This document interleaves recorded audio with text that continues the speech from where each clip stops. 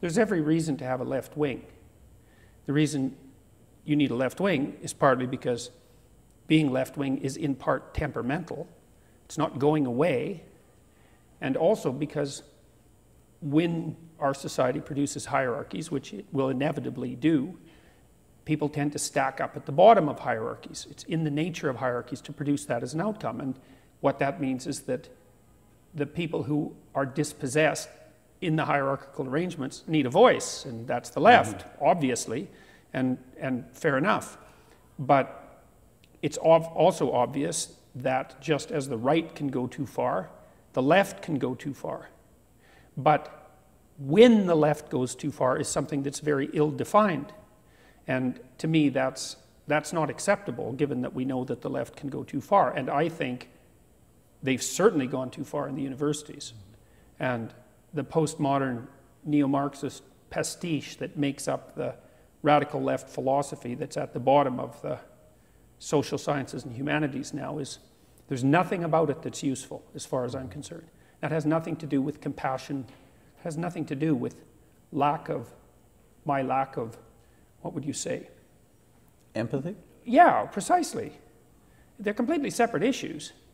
And that's another thing that really bothers me about political correctness. It's like, well, we have a hammerlock on empathy. It's like, A, empathy is not enough. It's not even close to enough. And an excess of empathy can do terrible things.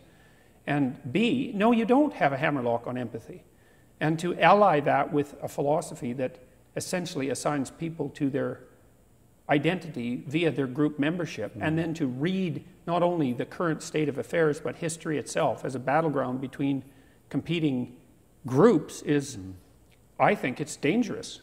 I think it's obvious that it's dangerous if you know anything about mm-hmm. history. But one argument you're sure to hear tonight is this idea of privilege that certain yeah. people, by virtue, uh, you and I, by virtue of our, our race, our class, our gender, have enjoyed historically privilege in society. And it's time that that privilege be shared more equitably across groups who've been historically disadvantaged. Well, that's a good example of the conflation of empathy with ideology. It's like, first of all, the majority in any society has privilege. That's the whole point of the society, is to set up a system so that the bulk of the people in the system can do well. Well, and then you, you build in protection for minorities. So to conflate that with race is not acceptable. It's a kind of, it's a toxic sleight of hand, and it's extraordinarily dangerous. So apart from that, it's an empty claim. Some people have advantages that other people don't. Well, obviously. And if you take apart anyone into the multitude of categories that they can be taken apart into, what you'll find is that on some of those dimensions, they're doing better than other people for rather arbitrary reasons sometimes, mm-hmm. and on other dimensions, they're doing worse. So, it purport, and then the next part of that is well, historically speaking, it's mm-hmm. like, okay, over what span of time do you mean precisely? So you mean because my ancestors 150 years ago were privileged, comparatively speaking, that I should somehow pay for that now? Mm. And are you so sure my ancestors were so privileged? As far as I can tell, my grandparents on my father's side, my father grew up in a log cabin till he was five. It had like three rooms. My grandmother was a cleaning woman for, for farms in, the, in, this, in central Saskatchewan in the 1930s. Mm. She cooked for threshing crews, you know. She chopped wood piles that were as big as the damn cabin to get through the winter. It's like, where, where's the privilege? I see it accrues to me as a consequence of my race. Oh, I see. So we're now we're going to have a discussion about race, are we? Mm. That's, and that's the thing about the toxic left is that everything is about group identity. And so let's say, let's even take the argument further though and say, okay, well, because of my skin color, I'm differentially privileged. Okay, so from, from a historical perspective. So so what? You're going to make everybody, on the basis of the race now, pay for some historical iniquity? Mm-hmm. And you're going to view the, the history of the relationships between men and women as one fundamentally of oppression.